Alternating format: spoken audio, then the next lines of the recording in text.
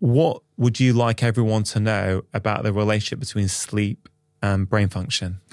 First of all, sleep is the best way for you to clear out these amyloid proteins that build up during the day. Wow.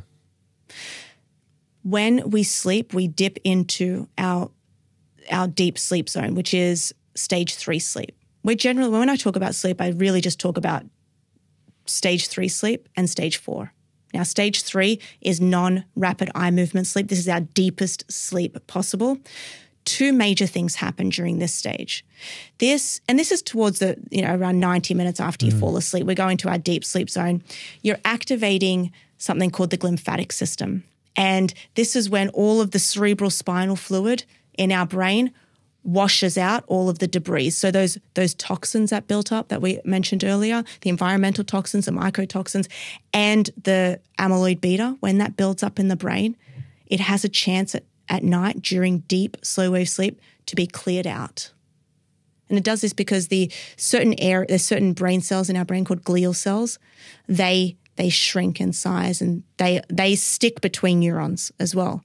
They're our immunity uh, our immunity cell. They shrink in size, and that's what allows the cerebral spinal fluid to act like a washing machine. So, sleep's important to clear out yep. toxins that may build up over the years. Yes. Just a reminder for people what we said right at the start, which is this idea that beta amyloid protein, which, yes, we do see in people's brains with Alzheimer's, is not really the root cause of what's going on. And beta amyloid perhaps is a response to inflammation and stress and all kinds of modern day insults. And that accumulation may well be starting at the age of 30 or 25. Okay. Yeah. So when we think about that, you're now connecting sleep, saying, listen, this stuff may start to appear in your brain because of the stressful, toxic lives many of us now lead, especially we live in urban environments, right? But actually, one of the best ways to insulate yourself from that potential damage and accumulation is to focus on your sleep.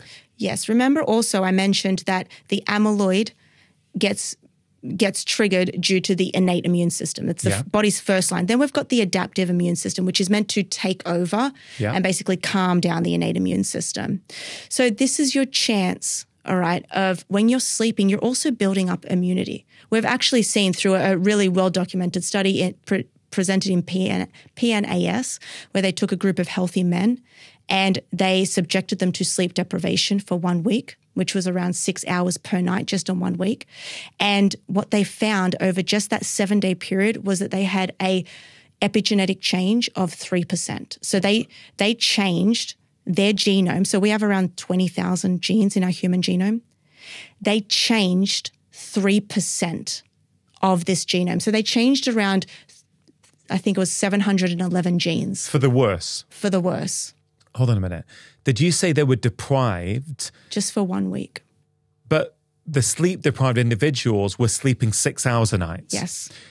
Right, six hours a night. I know, is, that's the problem. Is actually what some people are, are happy if they're getting six hours a night. That's their, hey, I had a great night.